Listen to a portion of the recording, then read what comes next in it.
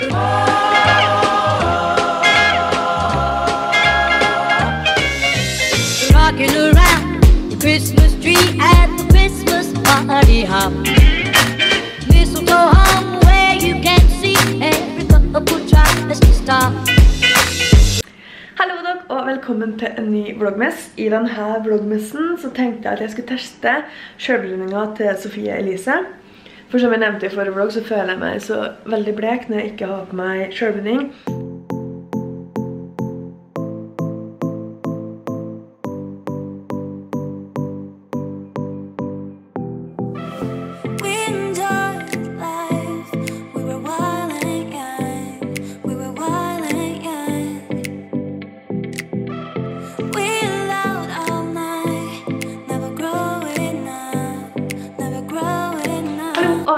Dagens vlogmess. I dagens episode så skal jeg teste selvbrenninga til Sofie Elise, nemlig den glød.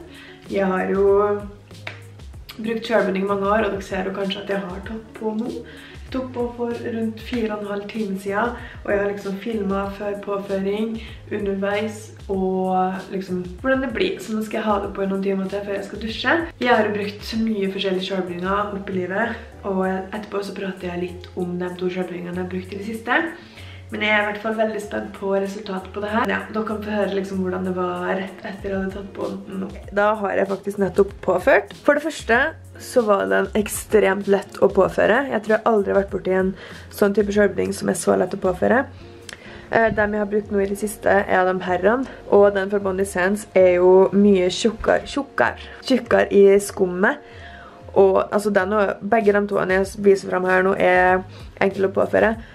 Men Bondi Sands er mye tjukk, tjukkere. Faen, jeg fikk ikke si det. Litt tjukkere i skummet enn det glød var. Og i tillegg så sånn glød nå, sånn som dere ser her, jeg synes ikke den har gitt meg så ekstremt mye farge. For med Body Sands så er jeg veldig van, eller så er jeg så vant til at den gir meg en knall farge med en gang, for det skummet så kommer til veldig grønt og mørkt. Så jeg håper det her etablerer seg til å bli en veldig fin farge. Og den andre fra Mindtan, som jeg kjøpt på normal, er en veldig billig sjølbinder. koster 120 kroner. Varer flere ganger den flaska der. Jeg har hatt den en stund, og den eh, varer lenge. Eh, forskjellen på de toene her er at Sense varer mye lengre og sitter mye bedre. Den fra Mindtan sitter ikke så utrolig bra, eller lenge. Men den er veldig fin farge begge to når du påfører, og jeg synes begge to var lett å påføre. Men det med glød er at det var det var så utrolig lett konsistens som bare gled utover kroppen. Men også en ting jeg synes var litt vanskelig, at du ikke helt ser 100% hvor du har lagt den, fordi det ikke blir en så klar farge med en gang. Altså, meg da som jeg har brukt selvbrenning, eller sånn, jeg så det jo, men kanskje for dem som er ny, ikke ser det like godt som for eksempel med Body Sense, bare for å forklare det. Men altså, glød er jo billigere pris, og det har jo sett som at det har vært utrolig fine farger på Instagram og på bildene og delt der, så jeg er utrolig spent på den her. Og nå tørka den også veldig fort. Det er cirka tre minutter siden jeg tok på det her. Og jeg valgte å ta på meg en hvit genser, bare for å se hvordan det blir. Veldig spent på resultatet. Jeg ser jeg har fått litt farge i ansiktet allerede. Men vi får se om åtte timer. Jeg viser dere før jeg dusjer og etter jeg dusjer, hvis jeg har mulighet. Er det senere i kveld, for jeg skal, tegne eksamen nå, og lage. Og nå har det som sagt gått noen timer, og fargen begynner faktisk å bli veldig fin. Eh, som Sofie Elise nevner, så er det jo litt trening med å ta det på fingrene.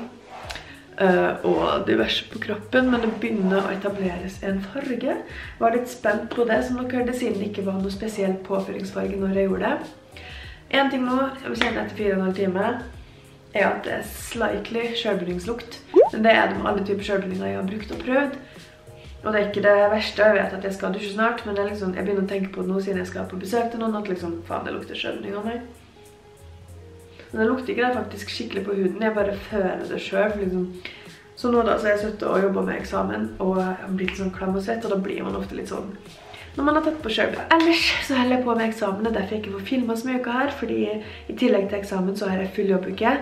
Uka her har jeg vært på tre senvakter, i dag har jeg vært på dagvakt, og i morgen skal jeg på dagvakt. Men jeg har fri helga, så jeg håper jeg skal få filmet litt da, i tillegg til å bli ferdig med eksamen. Men dere får litt mer full review i morgen, blir det vel, når jeg har fått sett hvordan fargen har etablert seg, og hvordan det blir når jeg får dusje av det. Så vi snakkes med dette.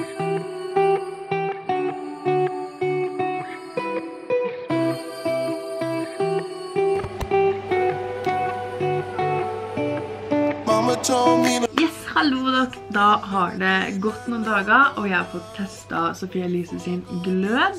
Jo, har jo snakket litt om hva jeg synes om påføring og sånn, og om varighet. Så må jeg helt ærlig si at jeg ikke har fått testet den så mye, for jeg tok jo på den på torsdag, og på søndag så dro jeg bada, og satt i boblebad og sånn, og da er det jo utrolig varmt vann som gjør at selvbunding svekkes. Men jeg tok på et nytt lag for to dager siden, og jeg må si at fargen er fortsatt utrolig, ja, jeg har en mobil med blitz der. Fargen er fortsatt fin på kroppen. Jeg har vært på to treninger, og da bruker jeg egentlig å få sånn sykt skille etter sports-BH her, for jeg har to ganske svette treninger nå, men jeg har faktisk ikke fått det av eh, glød. Og det er faktisk den første selvbygginga jeg ikke har fått sånne eh, sports-BH-skiller av. Så det er utrolig fornøyd med. Så for å gi denne et terningkast, så tror jeg jeg gir fem. Fordi den var utrolig lett å påføre. Tørka fort, lukta godt. Har, som jeg syns til nå, vært utrolig bra. Eh, Svette ikke av på tunge treningsøkter, sånn som jeg har opplevd andre selvbrenninger gjør. Den er vegansk. Alt i alt så er jeg faktisk veldig fornøyd med glød. I tillegg så har den en fin pris. Sånn, hvis du er på budsjettstudent, whatever, så vil jeg likevel anbefale dem eh, i videoen her. Uh, Mindtan, eller den som selges til 120 kroner på normalt.